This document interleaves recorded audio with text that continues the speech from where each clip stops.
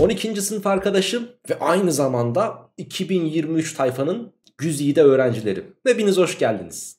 Arkadaşlar bu videonun amacı ne kadar siz sınav grubu öğrencisi olsanız da artık hani sınava gireceğiz biz hani büyüdük ee, yükümüz de çok ağır bize dokunmayın falan deseniz de yazılı olacaksınız arkadaşlar illaki bir şekilde o yazılılara girilecek. Ve bu senenin e, 12. sınıfın ilk döneminin ilk yazılısına hazırlık aşamasında sizlere destek olmak amacıyla yazılı hazırlık provası yapıyorum arkadaşlar. Evet konularınız e, şu an Milli Eğitim'in e, sunduğu programda sadece ama sadece logaritma ve arkadaşlar logaritmadan güzel sizlerle beraber çalışma soruları çözeceğiz. Mini de bir yazılı konsepti şeklinde olacak. PDF paylaştığımı tabii ki paylaştım. Videonun açıklama kısmında pdf'i bulabilirsin. Ücretsiz bir şekilde indirebilirsin. İster dijital ortamda kullan, ister çıktısını al, benle beraber ilerle. İstersen önce kendin çöz, daha sonrasında beni dinle ama bu, bu benim için fark etmez. Sadece ama sadece işini gör, yazılıdan yüksek not al. Bu bizim için kafi. Sonuç olarak biliyorsun yani bu yazılıdan aldığın puanların karşılığı da sınava girdikten sonra orta öğretim başarı puanı olarak sana geri dönüyor. Dolayısıyla kabul ettiğimiz not minimum 90 aklında bulunsun. 90'dan düşük notu kabul etmiyoruz. İnşallah yazılımda güzel geçer ve ben de çorbada bir nebze de olsa şöyle bir tuzum varsa mutlu olacağım. Dilersen hazırsan istersen videoya geçelim. Abone olmayı ve videoyu beğenmeyi de lütfen unutma. Evet toplamda gençler kaç tane sorumuz vardı? 16 tane sorumuz var ama güzel sorular. E, tam da yazılı formatına uygun sorular e, öyle söyleyebilirim. Yani ben milli eğitimde hoca olmuş olsaydım e, bu sorulardan öğrencileri yazılıya tabi tutabilirdim. Çünkü logaritmayı baştan aşağı böyle e, tekrar ettirecek kazanımları vurgulattıran güzel sorular arkadaşlar. Evet hazırsanız başlayalım ilk sorumuza. Demiş ki bakın fx eşittir logaritma x eksi 2 tabanında x kare eksi 2 x eksi 15 bu fonksiyonun tanım kümesi nedir diye sorulmuş. Öncelikle gençler şöyle yapalım. Bakın logaritmanın tabanının yani x eksi 2 dediğimiz kısım var ya burada. Bunun ne olması gerekiyor? x eksi 2'nin sıfırdan büyük olması gerekiyor. E, dolayısıyla hocam x 2'den büyüktür diyebilirsiniz. Aynı zamanda x eksi 2'nin birden de farklı olması gerekiyor. Yani x 3'ten de farklı diyeceğiz. Sonra logaritmanın içine bakıyoruz. Logaritmanın içi dediğimiz kısım şuradaki x kare eksi 2 x eksi 15. Hemen diyorsunuz ki hocam bu x kare eksi 2 x eksi 15 tabii ki pozitif olmalı. Yani sıfırdan büyük olmalı. Öyle sıfıra eşit olamaz gibi bir durum zaten var. Sıfırdan büyük demek bunları da kapsıyor. Ama yandaki gibi 1'e eşit olamaz falan demiyoruz. Pozitif olması kafi arkadaşlar. Şimdi hemen x'e x dedik. Burayı da eksi 5'e artı 3 diye parçalara ayırırsanız Böylelikle bizim köklerimiz eksi 3 ve artı 5 gelecektir. Daha sonrasında buraya bir kök tablosu oluşturacak olursam biraz kalınmış kendimiz çekelim daha mantıklı olur. Şöyle arkadaşlar bir kök tablosu oluşturuyorsunuz. Ee, burada kökler dahil değil çünkü büyüktür var eşitlik yok. Dolayısıyla içleri boş iki tane yüzük atıyorsunuz oraya. Sonra neyle başlıyoruz? x karenin katsayısı olan artıyla sağ taraftan başladık. Artı eksi artı dedik. Bizden nereler istenmiş arkadaşlar? Artı olan bölgeler istenmiş. Yani şurası ve şurası istenmiş.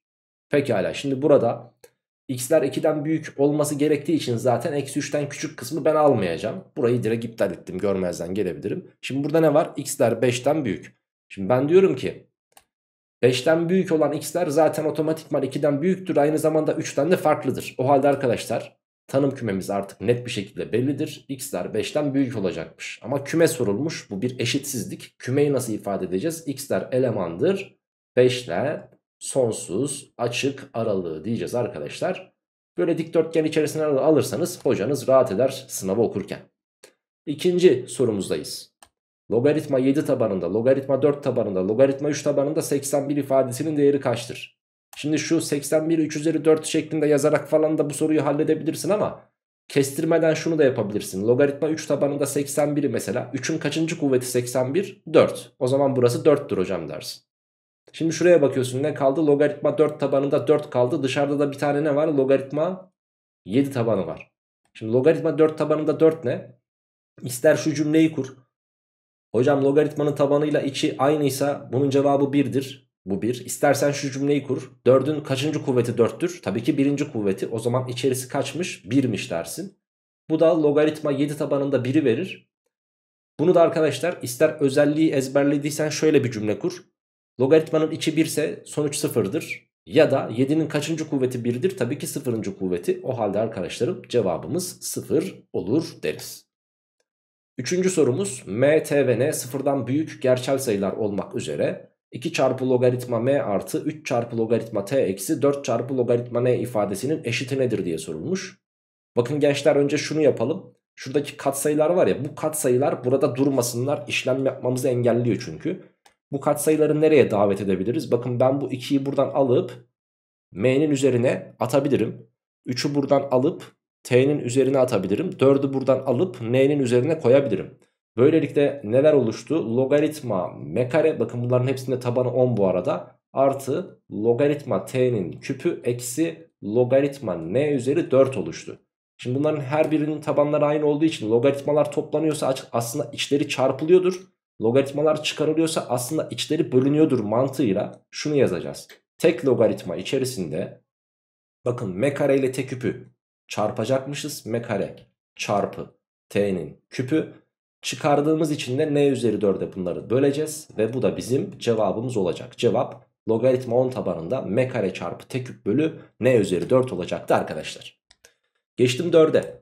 fx eşittir 3x artı logaritma 2 tabanında mx artı 3. F'in tersinde 6 1 olduğuna göre m kaçtır? Bak şimdi f'in tersinde 6 1 ise aynı fonksiyon gibi düşün. Zaten farklı bir şey değil. Bu da bir fonksiyon. f1 ne olur arkadaşlar? 6 olacaktır. Yani 6 ile 1'i yer değiştirdiniz artık f'in düzünü buldunuz. F'in düzünde 1 eşittir 6 dediniz pekala. Şimdi f1 6 ise yerine yazalım hadi. f1 eşittir. Şurada yerine yazıyorum. 3 kere 1 artı logaritma 2 tabanında x gördüğüm yere 1 yazdım. m artı 3 geldi. Güzel. Bu da kaçmış arkadaşlarım? 6'ymış. Şimdi şurası kaç yapar? 3. O 3'ü 6'nın yanına atarsanız demek ki logaritma 2 tabanında m artı 3 ne olmak zorundaymış? 6 eksi 3'ten 3 olmak zorundaymış. Bakınız 2 üzeri 3 eşittir logaritmanın içerisini verecekti. Dolayısıyla m artı 3 eşittir. 2 üzeri 3 kaçtır arkadaşlar? 8'dir değil mi? O halde m'ye kaç kalır? 5 kalır. Cevabımız da bu olur diyebiliriz. Geçtim 5. soruma. Logaritma 27 tabanında 3 üzeri logaritma 3 tabanında 27. Bir kere logaritma 3 tabanında 27'nin sen ne olduğunu açık ve net biliyorsun. 3'ün kaçıncı kuvveti 27'dir? 3. Demek ki burası 3'müş arkadaşlar. Geriye ne kaldı? Logaritma şu 27'yi 3 üzeri 3 biçiminde yazacağım. Bunun içi de 3'müş ve bunun da üssü 3. Her yer 3 oldu. Tamam mı? Şimdi şöyle yapıyoruz bak. Şuradaki e, tabanın kuvveti olan 3 var ya o 3'ü logaritmanın başına ters çevirip attın. 1 bölü 3 çarpı logaritma 3 tabanında 3 ve bunun bir de küpü var arkadaşlar. Pekala logaritma 3 tabanında 3 kaçtı? Şu kısım hemen gösteriyorum. Şu kısım kaçtı arkadaşlar? Tabanı ve kendi tabanı ve içi birbirine eşitse burası 1'di. Yani aslında bakarsan burası 1 bölü 3'ün 3. kuvveti. 1 bölü 3 demek 3 üzeri eksi 1 demek. 3 üzeri eksi 1'in 3. kuvveti de tabii ki 3 üzeri eksi 3'tür. Tamam bu neymiş arkadaşlar? M. Bakın M sayısını bulduk. 3 üzeri eksi 3. Bu cepte. Şimdi şuraya geçiyorum. Logaritma 3 tabanında M kaçtı? 3 üzeri eksi 3'tü. Artı logaritma M kaçtı? 3 üzeri eksi 3. Tabanında 9 var. 9 neydi? 3'ün karesi. Eşittir diyorum. Şuradaki eksi 3 aldım başa attım. Eksi 3. Logaritma 3 tabanında 3 zaten 1'di. Buradaki eksi 3 ve buradaki 2'yi de aldım başa fırlattım. Nasıl olur? Eksi 2 bölü 3 mü olur? Ve yine logaritma 3 tabanında 3 1 olduğu için onu da yazmıyorum. Aslında cevap buymuş. Eksi 3 eksi 2 bölü 3. 3 ile 3'ü çarpın 9 2 ekleyin. Bakın ekleyin diyorum çünkü ikisi de negatif olduğu için ekliyorum. 2 e, eklediniz 11. Demek ki cevap eksi 11 bölü 3 olacakmış arkadaşlar. Doğru cevabımız buydu diyebiliriz. 5. soruya kadar eğer sayfayı bu şekilde doğru düzgün doldurduysan zaten şu an tam puan almaya niyetlisin demektir. 6. soru. Kapı çaldığı için videoyu durdurdum. Şimdi soruya devam ediyorum. Aradaki kopukluk ondan. Logaritma 2 tabanında logaritmayı 20x ifadesini tam sayı yapan en küçük x tam sayı değeri için bu ifadenin değeri kaçtır diye sorulmuş. Şimdi bu ifadeyi tam sayı yapmak istiyoruz biz. Bu ifadeyi tam sayı yapan en küçük x tam sayısını arıyoruz ama. Tamam mı? Şimdi öncelikle bu ifadenin tam sayı olabilmesi için 2 tabanında demek ki içerisi arkadaşlar 2'nin kuvveti olacak. 2'nin kuvvetlerinden de Bakın burası 10 tabanında tamam mı? 10 tabanında bir sayı 2'nin kuvvetine eşit olacak. Ki burada sevgili arkadaşlarım o halde ben şu kısmı bakın şu kısmı 100 yapmayı başarırsam yani 20x eşittir 100 dersek x kaç gelir bakın 5. Şimdi şurası 100 ya logaritma 10 tabanında 100 kaç 2 bakın 2'nin kuvveti olmuş oldu çok güzel. Hem de x'e tam sayı olmuş oldu. Yoksa ben burayı 1 de yapabilirdim. Tamam. Şimdi o halde arkadaşlar e, x'imiz 5'miş. Şurada x'i yerine yazalım. Logaritma 5 tabanında 25 artı logaritma 1 bölü 5 tabanında 5 dedik. 5 tabanında 25 ne arkadaşlar? Yani 5'in kaçıncı kuvveti 25? 2. 1 bölü 5'in kaçıncı kuvveti 5? O da eksi 1. Yani 2 ile eksi 1'in toplamı sorulmuş. O halde cevabımız ne olacak? 1 olacak diyebiliriz. Şimdi geçelim gençler 7. sorumuza. 7. soruda e tabanında logaritma a ile e tabanında logaritma b yani ln a ile ln b'nin toplamı ln a artı b'ye eşitmiş. Yani normal şartlar altında bu ln a ile ln b'yi toplarsam ln a çarpı b yapar siz de biliyorsunuz. Ama bu ln a artı b'ye eşitmiş. O halde bu da ne demek oluyor? Demek ki a ile b'nin çarpımı a ile b'nin toplamına eşit demek oluyor.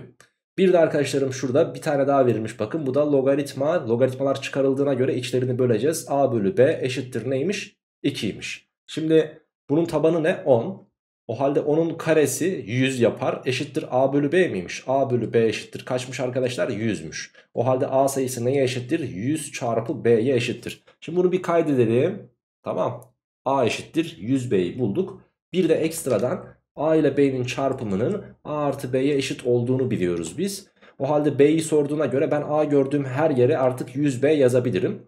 100b çarpı b eşittir 100b 100b artı b. Şimdi sol taraf 100b kare yaptı. Sağ tarafta 101b yaptı. Her iki taraftan bir tane b'yi silelim. Çünkü ben burada b'nin pozitif olduğunu biliyorum. Jort, jort gitti. 100b eşittir neymiş? 101. E, b'yi bulmak artık çocuk oyuncağı. b eşittir nedir? 101 bölü 100'dür. O halde cevabımız da budur diyebiliriz. 7. sorudan da tam puan aldıktan sonra geçiyorsun 8'e. Rahat oluyorsun, relax oluyorsun. Ee, yazılılarda, sınavlarda rahat olmak seni 5-0 değil 10-0 öne geçirir. Şimdi 2 çarpı logaritma 5 üzeri x eksi 1 eşittir logaritma falan filan olduğuna göre e, bu ifadenin değeri kaçtır diye sormuş. Önce x'i bulmak mühim. 2 çarpı logaritma 5 üzeri x eksi 1 eşittir diyorum. Bakın bunun da tabanı 10 bunun da tabanı 10 o zaman içleri çarpabilirim ben. Logaritma logaritma 2 çarpı 5 üzeri x artı 6 dedim. Tamam. Şunu da bu 2'yi de buradan alalım. Şunun kafasına atalım. Böylelikle arkadaşlar her iki tarafta logaritmal ifadeler var ve birbirlerine eşitse demek ki şu ifade şuraya eşit olacak. 5 üzeri x eksi 1'in karesini açarsanız 5 üzeri x'in karesi eksi 2 tane 5 üzeri x sanki 25 üzeri x gibi olacak çarpı işareti koyalım oraya. 2 çarpı 5 üzeri x artı 1 eşittir. Şurası da 2 çarpı 5 üzeri x artı 6 bakın. 5 üzeri x'in karesi dedim. Şu ifadeleri sol tarafa davet edelim. Eksi 4 tane 5 üzeri x yapar. Bakın eksi bir de 5 gelir. Eşittir 0 dedik. Ben burayı 5 üzeri x'e 5 üzeri x diye açtım. Burayı da eksi 5'e artı 1 diye açtım. Böylelikle 5 üzeri x eşittir 5 geldi. Veyahut 5 üzeri x eşittir eksi 1 geldi. Şimdi pozitif bir sayının hiçbir kuvveti negatif olamayacağı için buradan kök mök gelmez. Bu gitti. Şuraya bakıyoruz 5 üzeri x 5 ise x kaçtır arkadaşlar? Tabii ki 1'dir. Şimdi x 1 ise onu getirip şurada yerine yazacağız. Logaritma 5 tabanında 1 artı logaritma 5 tabanında 1'in karesi 1 artı 4'ten burası da 5 gelir. Logaritma 5 tabanında 1 sıfırdı. Logaritmanın içi 1 ise sonuç 0. Artı logaritmanın içi ile tabanı birbirinin aynısı ise o zaman ne diyorduk biz sonuca? 1 diyorduk. 0 ile 1'in toplamı bize cevabı verir. Doğru cevabımız 1'miş diyeceğiz. Ve devam ediyorum. 8'den de tam puan aldık. Yardır yardır ilerliyoruz. X ve Y sıfırdan ve 1'den farklı pozitif gerçel sayılar olmak üzere logaritma x tabanında y, logaritma y tabanında x'e eşitmiş. Buna göre bu toplamın eşiti soruluyor arkadaşlar. Şimdi bakın logaritma x tabanında y ben buna a dersem bu bunun aslında ters çevrilmiş hali. Dolayısıyla ne olacaktır? 1 bölü a olacaktır. Şimdi bakın a ile 1 bölü a birbirine eşitse Tabii ki a kare eşittir 1'dir. Ve a buradan ya 1 gelir ya da eksi 1 gelir. Tamam sıkıntı yok. A dediğimiz şey neydi arkadaşlarım? Logaritma x tabanında y idi. Bu ya 1'miş ya da bu logaritma x tabanında y eksi 1'miş diyeceğiz. E peki şimdi buradan eğer bunun sonucu 1 ise x y'ye eşit gelir. Eğer böyleyse de x eşittir. Bakın x üzeri eksi 1 y idi ya. x eşittir 1 bölü y gelir. Ya da y eşittir 1 bölü x gelir. y eşittir 1 bölü x yazalım hadi. y eşittir aynı şey sonuçta 1 bölü x. Şimdi bakın ben diyorum ki x y'ye eşit olamaz. Sebep şuraya bakın y bölü x var. Şimdi y ile x birbirine eşitse y bölü x ne gelir? Tabii ki 1 gelir. E, logaritman tabanı 1 oldu. E, böyle bir şey istemiyoruz biz. Logaritman tanımına aykırı. O halde x y'ye eşit değilmiş. y 1 bölü x'miş. O halde bunun aynısını şimdi yerine yazacağız. Bakın logaritma x tabanında x bölü 1 bölü x dedim. Artı logaritma y bölü x var bakın. y neydi? 1 bölü x bölü x tabanında y neydi arkadaşlar? 1 bölü x'ti. Çok güzel. Şimdi şuraya bakın. İlkini, ilkiyle uğraşıyorum. Logaritma x tabanında bunu ters çevirip çarparsan x kare olur. Ki kendisi 2'dir. 2'yi başa atarsanız. Artı şimdi şuraya bakıyorum. 1 bölü x kare tabanında 1 bölü x var. Bu da ne? Logaritma 1 bölü x kare tabanında 1 bölü x. Peki bu nedir? Buna da şöyle yapın. Bu 1 bölü x'in hani normalde karesidir ya. Şöyle yaparsanız 1 bölü x'in karesi. Bunu başa atarsanız 1 bölü 2 gelir. Buradaki 2 gider. Logaritma 1 bölü x tabanında 1 bölü x zaten 1'dir. Demek ki burası da ne geliyormuş? 1 bölü 2 geliyormuş. Çok güzel. O halde cevap 2 artı 1 bölü 2'ymiş arkadaşlar. Bu da bize 5 bölü 2'yi verir. Doğru cevabımız budur diyebiliriz. Devam. 10. soruyla sayfa bitmek üzere ilk sayfa. Aşağıda verilen sayı doğrusunda logaritma 2 ve logaritma 64 sayıları arası 5 eşit parçaya ayrılmıştır. Buna göre A ve B noktalarına karşılık gelen sayıların toplamı nedir diye soruluyor. Şimdi öncelikle bu aradaki mesafeyi nasıl bulurum? Logaritma 64'ten logaritma 2'yi çıkarırım. Bu da bana logaritma 64 bölü 2'den 32'yi verir. Bu da arkadaşlarım logaritma 2 üzeri 5'tir. 5'i başa atarsanız 5 tane logaritma 2'dir. Bakın demek ki arası da zaten 5 eşit parçaya ayrılmıştı ya. Her bir parçanın uzunluğu aslında logaritma 2'ymiş. Bakın burası logaritma 2. Şurası logaritma 2. Burası logaritma 2. Burası yine logaritma 2. Böylelikle 5 tane logaritma 2 oldu bakın arası. Bizden A noktasının karşılığı isteniyor. E ne yaparız? Logaritma 2'ye aslında 2 tane logaritma 2 eklersek A'yı buluruz. B'yi nasıl bulurum? Logaritma 64'ten bir tane logaritma 2 çıkarırım. Bu şekilde bulabilirim. Bakın 2 tane şurası logaritma 2'leri yazmayı unutmuşuz ya. Ne kadar güzel bak. Of of of şöyle yaz ondan sonra hoca gitsin çaksın sıfırı. Logaritma 2 ile 2 tane logaritma 2'nin toplamı A yapar. Pekala şu 2'yi aldım. 2'nin kafasına koyarsak ne olur? Burası 4 olur. Log 2 ile log 4'ü toplarsan ne olur? Log 8 olur. Log 8 A'ymış. Ve logaritma e, B'yi de bulalım. B'de arkadaşlar log 64'ten log 2'yi çıkarırsanız log 32 gelir. İşte bu ikisinin toplamı sorulmuş. Şurası logaritma 2'nin küpüdür. Burası da logaritma 2 üzeri 5'tir. Bunlarda 3 tane logaritma 2 ile 5 tane logaritma 2'nin toplamıdır. Ve aslına bakarsanız 8 çarpı logaritma 2'yi verir bize. Bu da aslında logaritma arkadaşlar. Logaritma nedir? 2'nin 8. kuvveti yani 256. Logaritma 256 bizim cevabımız olacak. Doğru cevap buydu diyebiliriz. Evet. İlk sayfamızı bitirdik. Şöyle uzaktan da bakalım. Sayfamızı dolu dolu yaptık. Ön sayfa tam puanı hak etti. Artık ikinci sayfadan da tam puan alıp yazılıdan 100 almaya doğru koşuyoruz. 11. soru. Şimdi burada logaritma x tabanında bakın 3 hatta şunu şöyle yapalım. 3 artı logaritma x tabanında x kare yazabilirim ben burayı. Çünkü 3 çarpı x kare var. Bunlar içeride çarpıldıysa ben bunu dışarıda toplayabilirim. Şöyle yaptık çarpı logaritma 3 tabanında x'in karesi. Bu direkt böyle kalır. Eşittir neymiş? 1. Şimdi şuraya bakıyoruz. Bir logaritma x tabanında 3'ümüz var.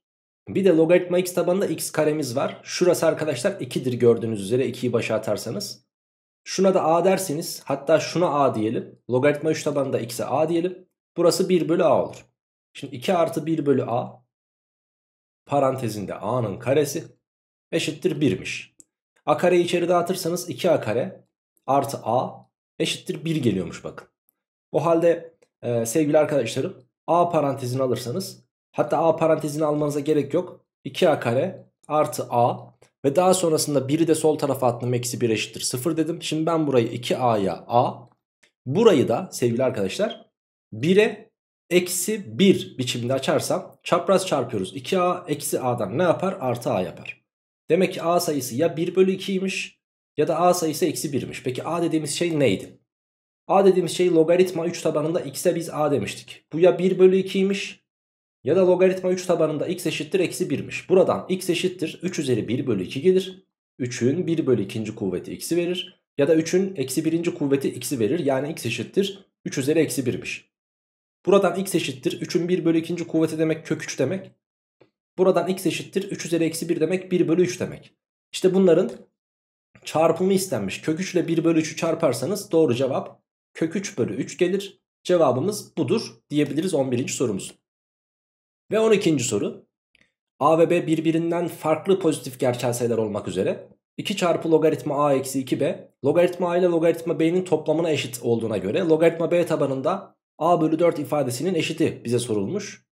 Öncelikle gençler logaritma a eksi 2b'nin bakın karesi yazıyorum. Buradaki 2'yi buraya aldım. Bu da eşittir. Logaritma 2 logaritma toplandıysa içleri çarpılmıştır. a kere b diyoruz. Böylelikle a eksi 2b'nin karesinin a çarpı b'ye eşit olması gerektiğini de görüyoruz. Yani a kare eksi 4ab artı b kare eşittir ab'ymiş. Daha sonrasında arkadaşlar bu ifadeyi şu kısma atarsanız a kare bakın a kare eksi 5ab artı bir de şurası b kare değil b kare değil orası şurası 2b'nin karesini alırsanız 4b kare gelir değil mi? Artı 4b kare eşittir sıfırmış dedik. Bakın a'ya a. Burayı da eksi 4b'ye eksi b diye açacak olursanız çarpımları 4b kare yapar. Toplamları eksi 5ab yapar. Bakın eksi ab eksi 4ab eksi 5ab yaptı. Demek ki ya a eşittir 4b'ymiş ya da a eşittir b'ymiş dedik. E birbirinden farklı demişti. O zaman a b'ye eşit olamaz. Demek ki a kaçmış 4b'ymiş. Yazalım. Bizden isteneni yazıyoruz. Logaritma b tabanında bakın a gördüğüm yere 4b yazarsam 4b bölü 4 gelir. Bu da bana logaritma b tabanında b'yi verir. Bu da 1'in ta kendisidir. O halde bu da cevaptır deriz sevgili gençler. Ve devam ediyorum. Kaçla? 13. soruyla. Şimdi dikkatli dinleyin. 10, 10, 10 hepsinde var zaten. 10 parantezinde şu kısım ters çevirirseniz logaritma 120 tabanında 4 yapar. Artı bunu ters çevirirseniz logaritma 120 tabanında 5 yapar. Artı bunu ters çevirirseniz logaritma 120 tabanında 10 yapar. 6 yapar özür dilerim. Pekala. Bunların hepsi 120 tabanında olduğu için artık içlerini çarpabilirim. 4 kere 5 20. 20 kere 6 120 yapar. Yani 10 çarpı logaritma 120 tabanında 120 geldi ki şurası 1'dir. O halde cevap kaçtır? 10'dur deriz. 13. soruyu da çözdük ve geçtik 14'e. ln x artı 5 bölü ln 3. Siz bunu taban değiştirme kuralıyla logaritma 3 tabanında x artı 5 şeklinde yazabilirsiniz. Eşittir diyorum. Logaritma 3'ün karesi tabanında 11'in karesi yazdık. Daha sonrasında şu 2'yi başa attım 1 bölü 2. Şu 2'yi başa attım 2, 2 bölü 2'den burası da 1 geldi. Yani arkadaşlar ben şurayı silebilirim şunu ve şunu silebilirim. Gördüğünüz üzere tabanların ikisi de 3 o halde içler birbirine eşit. Yani x artı 5 eşittir 11 ise dedik. Buradan x ne geldi arkadaşlar? 6'nın ta kendisi. Cevabımız bu olacaktı. Ve devam ediyorum 15. soruma bir grafik sorusu. Son soru da grafik sorusu. Grafik sorularını dikkatli dinle her yazılıda bir tane mutlaka her hoca sorar. Logaritma a tabanında x eksi 1'in grafiğini ben sana verdim demiş. a'yı bilmiyoruz burada. a artı fa ifadesinin değeri kaçtır diye soruluyor. Öncelikle arkadaşlar 3'ü yerine yazınca sonuçta 1 alıyormuşsunuz. Logaritma a tabanında 3'ten 1 çıktı 2 eşittir kaçmış 1. O halde a üzeri 1 eşittir 2'yi verecekse a eşittir 2'dir. Yani bizden istenen şey şu 2 artı f2 kaçtır diye sorulmuş. 2'nin zaten 2 olduğu açık. Bize f2 lazım. Peki F2 burada kaçmış bakın hop sıfıra gitmiş. Dolayısıyla F2 de sıfırdır. Toplarsanız bunları iki cevabını alırsınız. Doğru cevap bu olacaktı. Gördüğünüz üzere grafikli sorular çok fazla sizi zorlayacak tarzda değil arkadaşlar. Ve son sorumuz. Dik koordinat düzleminde fx eşittir logaritma 3 tabanında x eksi 1 ve y eşittir f'in tersinde x fonksiyonunun e, grafikleri aşağıda verilmiştir. Pekala dik koordinat düzlemindeki grafikler üzerine yukarıdaki boyalı dikdörtgenler çizilmiş. Buna göre turuncu dikdörtgenlerin alanları toplamı mavi dikdörtgenlerin alanlarından kaç birim fazladır diye sorulmuş. Pekala. Şimdi burada benim fonksiyonumun aslında kuralı belli. Logaritma 3 tabanında x eksi 1. Yazalım onu. Logaritma 3 tabanında x eksi 1. Pekala. Burada e, logaritmanın tersini de kolay yoldan bulmayı size göstermek istiyorum. X'e uygulanan işlemleri adım adım yazın arkadaşlar. Mesela burada x'ten önce 1 çıkarılmış. 1 çıkar yazdım. İkinci yapılan işlemde 3 tabanında log alınmış arkadaşlar. Şimdi tersten başlıyorsunuz. Terse doğru gidiyorsunuz. Düze doğru gidiyorsunuz. Ve bütün işlemlerin anti işlemlerini yapıyorsunuz f'in tersini bulabilmek için. Mesela 3 tabanında logaritma al demiş ya. Bunun tersi 3 tabanında üs almaktır. Daha sonrasında 1 çıkar demiş. Siz buna 1 ekleyeceksiniz. İşte e, fonksiyonun tersi budur diyoruz arkadaşlar. Yani şuradaki fonksiyonumuz da bizim neymiş? 3 üzeri x artı 1'in ta kendisiymiş. Pekala. Şimdi ben buralarda bazı sayılar bulmam gerekiyor. Mesela bu sayılar ben x gördüğüm yere ne yazarsam sonuç 0 gelir. Tabii ki 2 yazarsak çünkü 2'den 1 çıkarsa logaritmanın içerisi 1, 1 olur ve ifade 0'a eşit olur. Yani burası kaçmış arkadaşlar? 2'ymiş. Burası 2 ise sen biliyorsun ki fonksiyonla fonksiyonun tersi analitik düzlemde y eşittir x doğrusuna göre simetriktir. Yani burası 2 ise e doğal olarak şurası da 2 olmak zorundadır. Bu 1 bu cepte. Şimdi sorum şu. Ben fonksiyonun düzünde şuraya ne yazarsam a yazdım mesela. a'yı yazınca sonuç nasıl 2 çıkar? Bunu düşüneceğiz.